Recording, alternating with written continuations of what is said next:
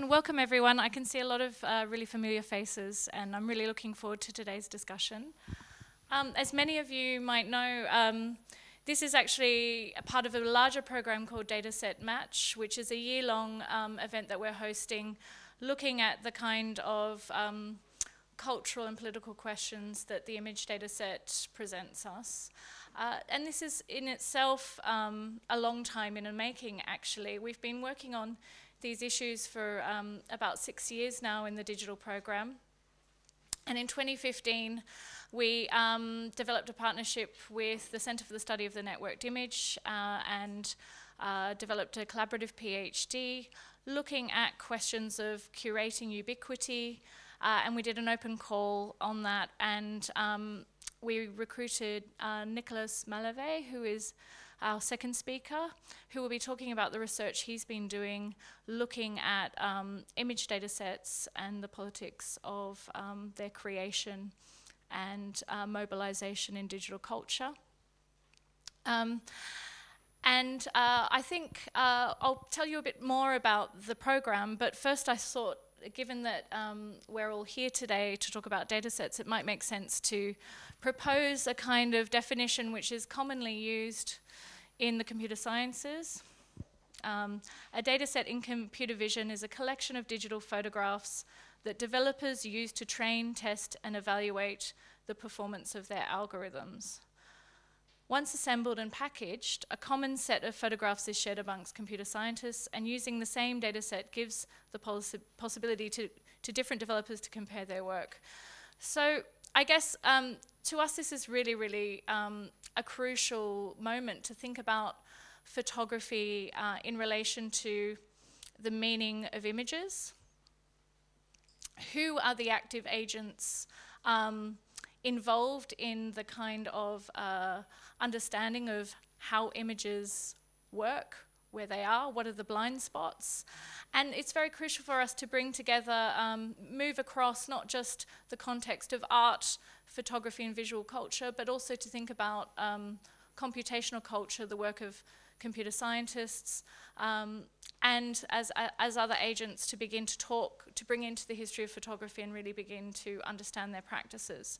And one of the key figures that um, overshadow uh, the data set that we'll be um, talking a bit about today is Professor, oh sorry, Dr. Fei Fei Li um, of Stanford University, um, who is really uh, a really fascinating um, person who we've done, we've already been um, doing a lot of work looking, at, well, Nicola will tell you about his work um, looking at her scientific contributions.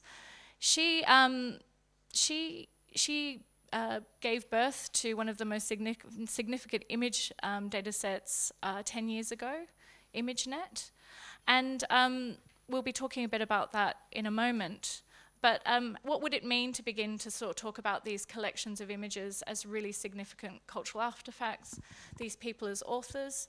And with that in mind, we'll be, um, she will be coming here next week on Saturday to give a talk about ImageNet, and we'll be throwing uh, a birthday party for ImageNet, which you're all welcome to come to in which there will be some exciting um, party games and um, subversively playful activities. So I will flash up at the end um, that activity uh, to encourage you to come. But I guess this question of um, the photograph becomes pressing. Um, whilst there's been a lot of attention in about, uh, about algorithms themselves, it's almost been mystified, and we haven't really begun to talk about the significance of the data that they are trained on, which is usually digital photographs. And, um, and Fei Fei Li was really significant because she recognized this in her research. She realized that you know, the optimization of algorithms will only get you so far, so far. And by looking at the world through her child's eyes, she began to realize that um, as a, if a child sees, you know, 50 million images by the age of three, you know, how, how can she improve the data on which uh, machines are trained. And this is quite significant um, if you begin to look at this example.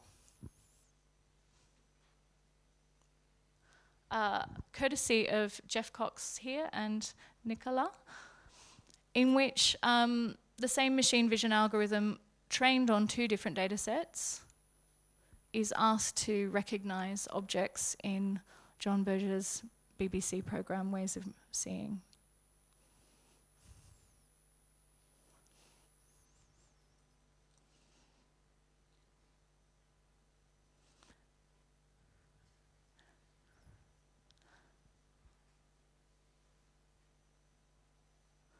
So you can begin to see differences in the way um, objects are recognized. I think I remember Geoff and Nicola saying that um, COCO uh, is, is, very much a product of a kind of um,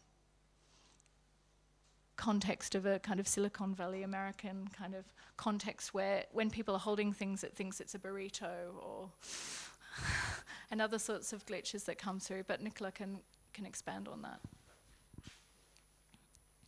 Uh, and I thought it might uh, be worthwhile look, looking at one of the most earliest image data sets. Um, this is from a paper from 1976 in which David Marr reveals um, the six images he chose to describe the world in order to um, begin to optimize um, uh, uh, his early um, work in machine vision.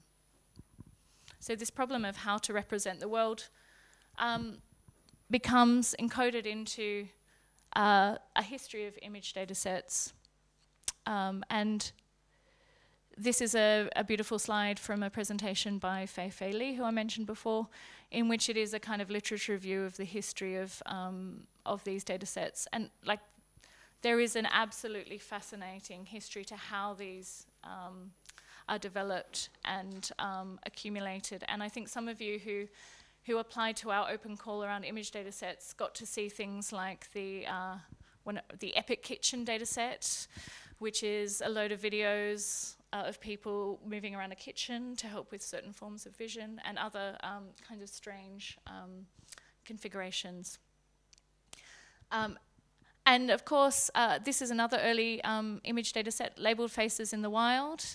Uh, I love this, the title of this, because it's this sense of like, if you go to the internet rather than photographing the guys in your lab for your facial vision data set, that there is some kind of, you know, it's almost like the photographer in, on the safari trying to find images for the data set that almost um, uh, and the sense of that, that this is a site where images just appear and they're not, um, they're not a problem in a way. They're kind of away from the bias and you escape the bias by scraping things off the internet, which is a really, really interesting um, perspective if we think about um, architectures of the web and uh, how these images come, which Nicola will be talking about in a moment.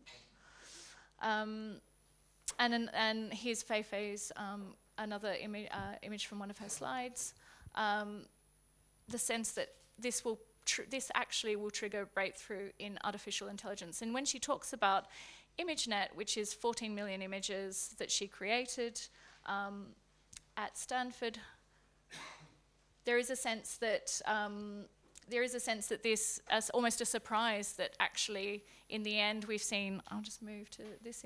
Um, an explosion of data sets um, it triggered, and also huge um, advances in neural networks and other kinds of older computational technologies, which had kind of been put aside, which have now come back into play um, if we think about um, uh, everything from deep fakes and, and those sorts of controversies.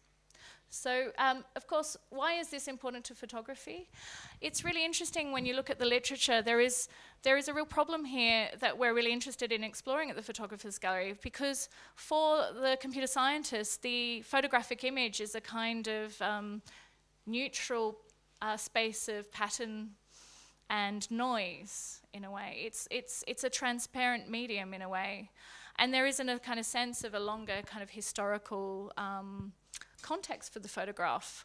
And here we have um, the, the, classic example that everyone talks about in machine vision uh, and facial recognition, uh, Francis Galton's work um, in the 1800s, looking at um, forms of criminality, and his work trying to create typologies through photography of the insane, the criminal, um, and different kinds of social classes. And of course, this uh, again informed um, research in genetics, um, which is now um, quite discredited. But again, we see re-emerging in kinds of uh, questions around um, facial uh, recognition, which Heather will be um, talking about in her work.